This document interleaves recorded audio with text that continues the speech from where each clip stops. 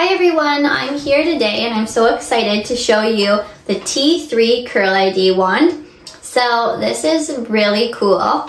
I wanted to show you how it works exactly. You push the power button and as you can see, hold on, I'm not sure if you can see, it has all these lights lit up and you can actually program this depending on what type of hair you have. So if you have fine, coarse, medium hair, there's actually a setting. You pick which one you are, and then there's a light and you pick if you have chemically treated hair or not chemically treated, and if you have color treated hair, you click it, so it will automatically adjust to those different options and it will pick what's best for your hair. If you don't wanna do that, you can hit manual and you pick what you want to do for your hair. So this is just really awesome technology. I feel like since using this, it always gives me the best um, curl for my hair. So I'm gonna give you, a, whoops, sorry, a demonstration on this curling iron. It looks really nice, it's cool. I want this sitting on my counter.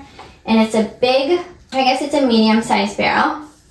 And it is got this plastic cap so that you won't burn yourself, as well as the swivel cord. So you just hold.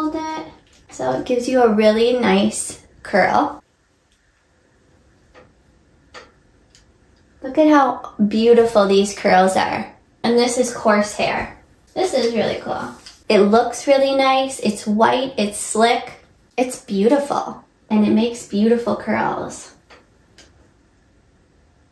And I'm just gonna turn the light off so you can see all the options here. So there's the manual. And you can see those flashing. So that is your texture. This is, is your hair chemically treated? No, yes, it is. And is it colored? Yes. And so you lock it into place. And I hope this review was helpful for you on this awesome T3 Curl ID and have a good day.